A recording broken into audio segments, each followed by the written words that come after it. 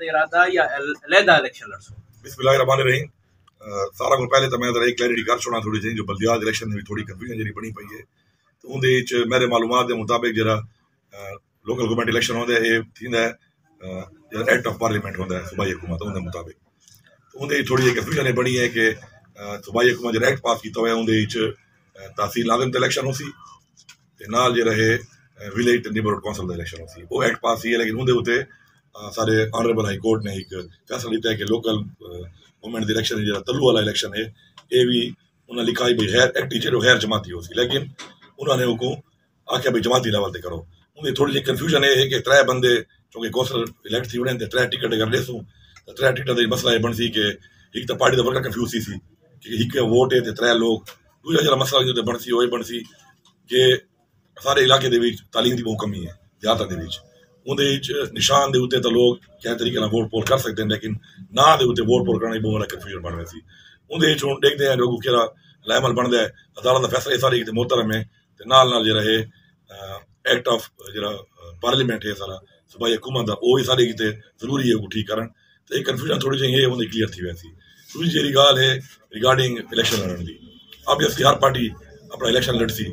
ਕੁਝ ਪਾਰਟੀਆਂ ਦਾ ਇਵੇਂ ਵੀ ਹੈ ਦਾ ਆਪਾਂ ਦੀ ਪੀਡੀਐਮ ਹਵਾਲੇ ਨਾਲ ਮੋਸ਼ਿਆਂ ਤੇ ਆਪਾਂ ਇਤਿਹਾਦ ਪਹਿਲੇ ਕੋਲ ਵੀ ਹੈ ਹੁਣ ਉਹ ਇਤਿਹਾਦ ਕਿਹੜੇ ਜ਼ਿਲ੍ਹੇ ਦੇ ਵਿੱਚ ਕਿਹੜੇ ਸੂਬੇ ਦੇ ਵਿੱਚ ਕਿਹੜੇ ਲੈਵਲ ਤੇ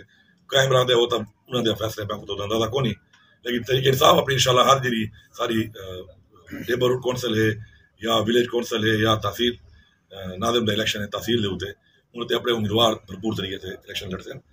ਤੇ ਅਹ, ਆਪਣੀ ਟਿਕਟ ਤੇ ਲੜਸਨ ਜ਼ਾਹਿਰੀ ਗੱਲ ਹੈ ਤੇ ਚਾਹੇ ਜਿੱਤੇ ਵੀ ਟਿਕਟ ਹੋਵੇ ਜਿਹੜਾ ਵੀ ਫੈਸਲਾ ਗਵਾ ਗਿਆ ਉਹਦੇ ਮੁਤਾਬਿਕ ਅਗਰ ਜਮਾਤੀ ਹੋਇਆ ਤਾਂ ਜਮਾਤੀ ਦੀ ਬੁਨਿਆਦ ਤੇ ਲੜਸੂ ਗੈਰ ਜਮਾਤੀ ਹੋਇਆ ਤਾਂ ਗਰੁੱਪ ਦੀ ਬੁਨਿਆਦ ਤੇ ਤਾਂ ਭਰਪੂਰ ਤਰੀਕੇ ਨਾਲ ਇਲੈਕਸ਼ਨ ਲੜਸੂ ਤੇ ਇੱਕ ਮੈਂ ਗੱਲ ਐਡ ਕਰ ਛੋਣਾ ਜੋ ਸਾਰੇ ਕੁਝ ਜਿਵੇਂ ਏਰੀਆ ਹਨ ਜਿਹਦੇ ਵਿੱਚ ਦੋ ਗਰੁੱਪ ਹਮੇਸ਼ਾ ਹੁੰਦੇ ਹਨ ਅਹ, ਦੋ ਪਾਰਟੀਆਂ ਹੁੰਦੀਆਂ ਹਮੇਸ਼ਾ ਸਪੈਸ਼ਲੀ ਫਾੜਪੁਰ ਕਿਉਂਕਿ ਮੈਂ ਹਲਕੇ ਚਾਹੁੰਦਾ ਐਨ 38 ਦੇ ਵਿੱਚ ਮੈਂ ਲਾਸਟ ਟਾਈਮ ਇਲੈਕਸ਼ਨ ਤੋਂ ਲੜਨਾ ਜਿਹੜੇ ਟਾਈਮ ਤੇ ਮੇਰੇ ਥੱਲੇ ਬੈਟ ਦੇ ਨਿਸ਼ਾਨ ਤੇ ਉਮੀਦਵਾਰ ਹੀ ਕੋਈ ਨਹੀਂ ਤਾਂ ਉਹਦੇ ਕੀਤੇ ਅਸਾਂ ਬੜੀ ਮਿਹਨਤ ਕੀਤੀ ਤੇ ਕੋਸ਼ਿਸ਼ ਹੀ ਮੇਰੀ ਕਿਉਂਕਿ ਅਸਾਂ ਤਾਂ सारे अर्जी लोग हैं आज वो सुन कल ना वो लेकिन चूँकि तरीके साहब मेरी बुनियादी पार्टी ये थे इमरान खान दे थे मैं एक कोशिश करके एक ग्रुप था पी टी आई का पहली दफ़ा तिहत्तर साल ही पढ़ाया तो अलहमदुल्ला वो ग्रुप भरपूर तरीके इन शाला पहली दफ़ा वो एरिया के पी टी आई प्लेटफॉर्म से पहली दफ़ा उम्मीदवार होते इनशाला इलेक्शन लड़ी थी तो इंशाला बहुत अच्छा रिज़ल्ट आ इन शाला तो सेम जो बाकी सारे हिंद एरिया उनके भी जो परोहित हल्का है वो भी सब पता है जो सात दफ़ा मैं खेल बिरादरान जीतन को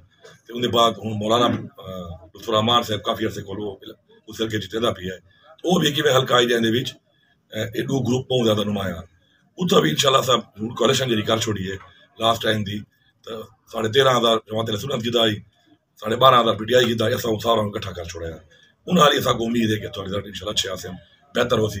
ਬਾਕੀ ਇਨਸ਼ਾਅੱਲਾ ਅਹ, ਜਿਹੜਾ ਸੋ ਬਾਕੀ ਗਰੁੱਪਾਂ ਵਾਲੀ ਗੱਲ ਕਰਦੇ ਪਏ ਬਾਕੀ ਪਾਰਟੀਆਂ ਵਾਲੀ